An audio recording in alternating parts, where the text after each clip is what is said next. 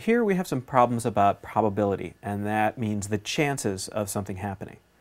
This first one says a bag contains 8 red, 3 white, and 6 blue marbles, and what is the probability that a marble drawn from the bag will be red?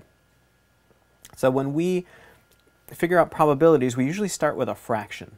And the fraction has on the bottom the, the total number of chances, anything that could happen in this situation. And then on the top, it's the number of chances of, you know, the particular thing that's being asked about.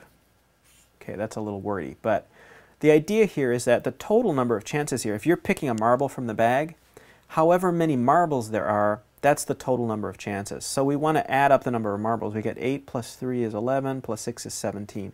So the bottom of this fraction is going to be 17. And then it says, what is the probability that a marble drawn from the bag will be red?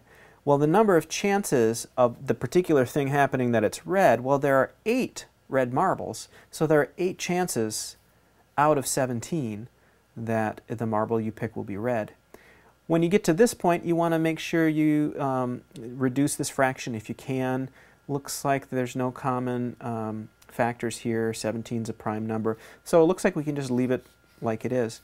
If you want to convert that to a percent probability, just convert this to a decimal by doing the division on your calculator and then move the decimal place over to, uh, and you'll have a percent.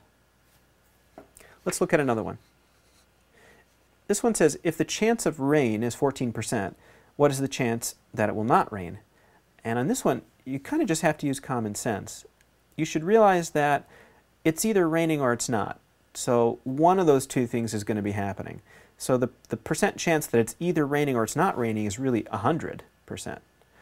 So if the chance of rain is 14%, the chance that it's not raining is 100% minus 14%, or in this case, 86%. And let's look at one more. And this one really is more about um, a wording or terminology question. Sometimes when you see probabilities, you'll see um, something called odds, and then they'll be phrased in this 3 to 8, or 4 to 5, or 1 to 1. And this is a little bit different. Um, it, it's not, you can't look at this the same way you look at fractions or percents or decimals and probabilities. What this means let me read the whole question. The odds that an event will occur are 3 to 8. Find the probability of the event occurring. So 3 to 8, what, what this means is that there are three chances for the event occurring and eight chances that the event doesn't occur. So the total number of chances here is actually 3 plus 8, or 11. And now the, the probability that it's going to occur is 3 out of a total of 11 chances. It's another way to say the same thing. The odds are 3 to 8, or the probability is 3 out of 11.